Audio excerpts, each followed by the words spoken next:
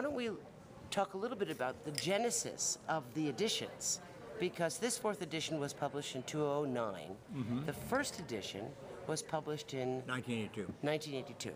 So, that's why. what has changed and what has evolved in your thinking to distinguish this from the first edition? Oh my goodness. Well, I think this reflects a lot of the research that's out there. I try to keep current with everybody's research. Some research is better than others, but uh, try to keep the uh, the book current there.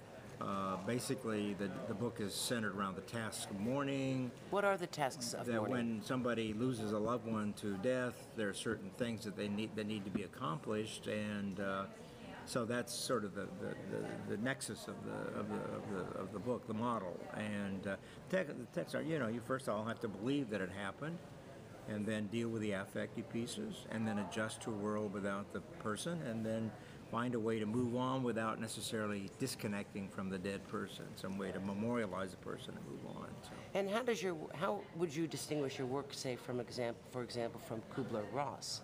Well, Dr. Kubler Ross was talking about stages of dying, and then along the way, somebody, you know, used those stages for bereavement. She never intended that, uh, in my judgment, having done research with her in the early days. Um, but I think any model that talks about stages really gets locked into sequential uh, movement. Yeah, and. Um, so, by using the task model, which comes from developmental psychology, there's certain tasks. These tasks have a fluidity. They can be worked, reworked.